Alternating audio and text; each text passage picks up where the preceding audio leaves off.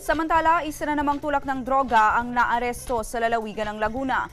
Nahuli ang suspect sa isinagawang buy bust operation sa Cabuyao City. May detalye si Edna Mayores.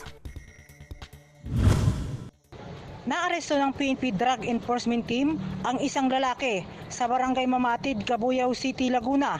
Nagpanggap na pusher buyer ang ilan sa mga operatiba at nakipagtransaksyon sa sospek na si Andy Karandang Iparaon, residente ng Purok 2, barangay Mamatid, Cabuyao City, Laguna at nagresulta ng pagkakahuli sa kanya.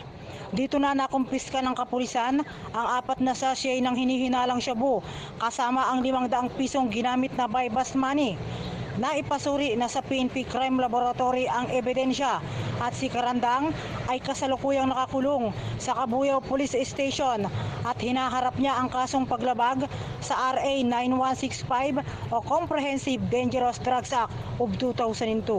Mula rito sa Cabuyao City, Laguna, kasama si Norberto Del Pino para sa Eagle News, Edna Mayores, we are one with 25.